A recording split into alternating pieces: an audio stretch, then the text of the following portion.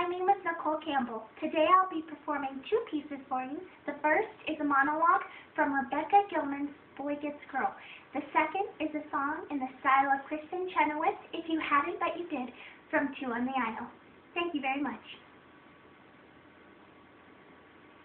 When I was a freshman in college, I used to date this guy who was a bartender. Every night I would go to the bar and sit and wait for him to get off of work.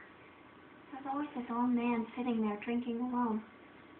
And I always felt sorry for him. And then one night he started talking to me, telling me about how his wife had died and that his kids don't even speak to him anymore. And I told him I felt sorry for him. And he said that the one thing that would make him feel better would be to kiss a pretty girl. So I let him. Kiss me on the mouth. I mean, I didn't want to. He was old and drunk and it made me sick. But I did it because I thought that's what I was supposed to do. I was supposed to be nice. And then later that year, I was covering a Take Back the Night rally for the school paper. And this woman turned to me and saw me taking notes and asked me if I was there as a woman or as a reporter. And I said as a reporter, and she was disgusted. She didn't want a reporter, she wanted a protester. Frankly, I haven't had that many good experience as a woman. So when she offered me the other option, I jumped right at it. You know, maybe being a woman means tolerating a lot of shit. and maybe I never learned otherwise. I still tolerate shit. But I do it as a journalist.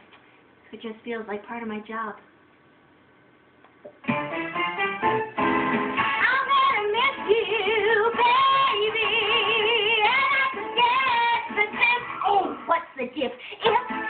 Years of my life were spent as your wife with no as that is, you're not such a cute I give you.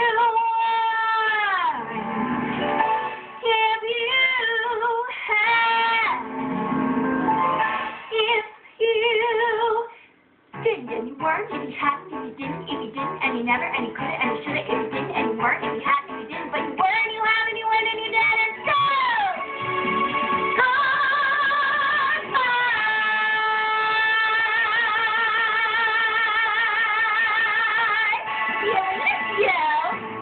Thank you.